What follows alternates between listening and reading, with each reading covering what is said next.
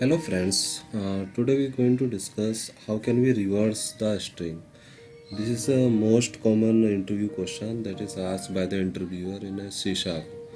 So let's begin. How can we reverse the string? Uh, let's suppose we have a string hello world. I'm going to type. Uh, before that, uh, I take a console application. Or here is a program file. Uh, we typing the code in a C sharp. So first we uh, uh, de- declare the string string variable. String st is equal to have hello world.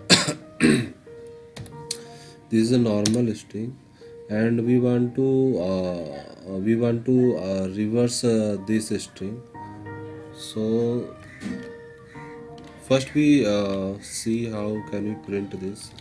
Console uh, write line. Write line. Fine. We just print this.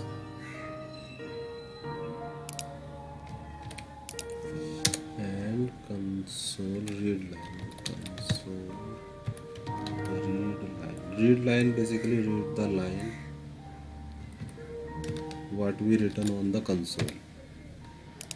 So simple. Let's execute this program.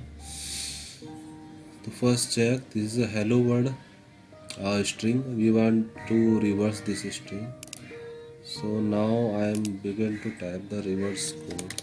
Just like uh, create a gap i type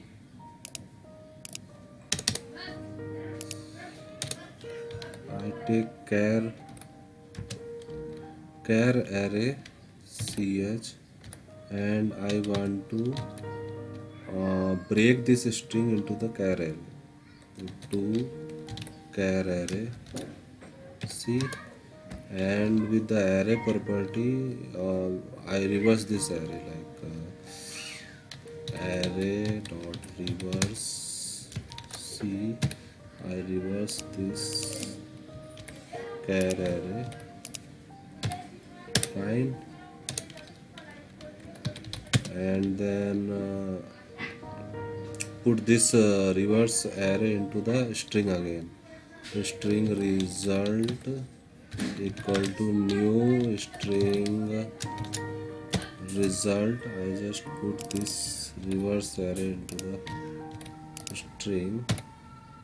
And again i console write line and put this result into write line.